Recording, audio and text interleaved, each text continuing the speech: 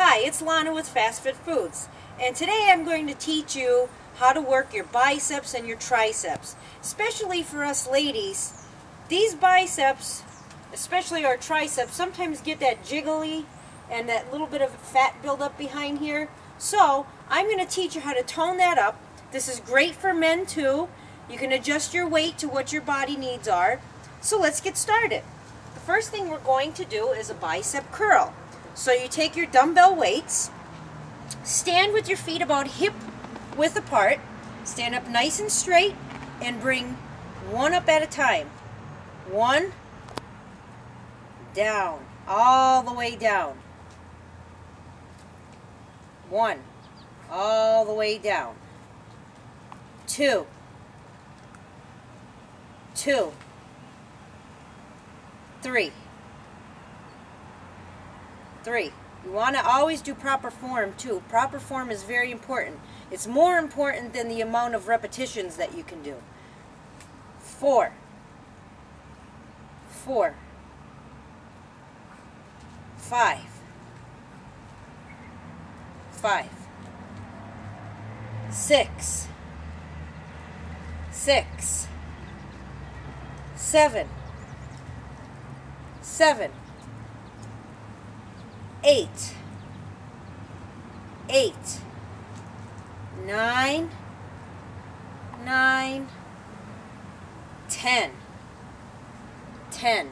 You always want to make sure that you do the same amount on both sides. That's very important with the same weight. These can also be done seated. If you have trouble standing, you can still have strong arms. You can sit and work your muscles the same way. I want you to do three sets of 10 repetitions. You can take a break in between these sets. If you can't make it to three sets of 10 repetitions, then make it until failure, until your muscles are fatigued that you can no longer do this. Sometimes you're beginner, you may be advanced, so adjust the workout according to what you need. Our next exercise will be showing how to work our tricep. There's three heads to our tricep, and we're going to work all three heads today. So first we're going to stand and almost in a, a skier stance with your knees slightly bent, feet hip width apart, and we're going to stand just like this, head down, and keep your back straight. And bring your arms back. Extend them all the way back and slightly squeeze and hold that tricep muscle. So we're going to do up to 10 repetitions. Two, Three, always keeping proper form. That's most important, proper form. Four. Five. Six. Seven. You're also working your shoulders while you're doing this too. Eight. Nine. Ten. Okay, that was great. Now an alternative to having dumbbells, if you don't have any dumbbells, some people don't, you can also use something you have around your house. So such as you can use um, a milk container, water jugs with handles. You can fill them up with enough water until the weight feels well that you can make it to at least 10 repetitions. Or you can use something simple, which is what I have. This is just a can of tomato sauce. It's 28 ounces which is a little over a pound. So we're going to do the same thing. You just stand, hold the can in your hand, and lift and curl. Lift and curl. And then when you're done, switch sides. Stand, feet hip width apart, lift and curl. And again, these can be done while you're sitting down.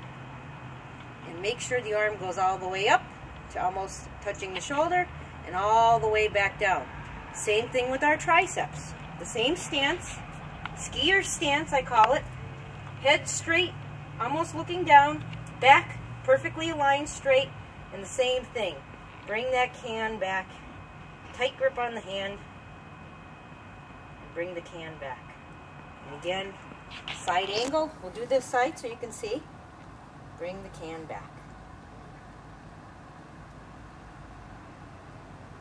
And again, I want you to try do three sets of 10 repetitions or until failure, until you can no longer do this. This is a great workout for men or women, beginners or advanced. It's all up to you. But you'll have great arms. Everyone will ask, what are you doing? And it's very simple.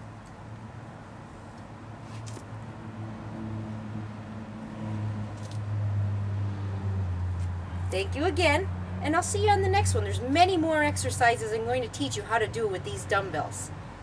And we'll do one last time. See, you can have great arms like this in a short amount of time. Very easy. Thank you again, and have a good one.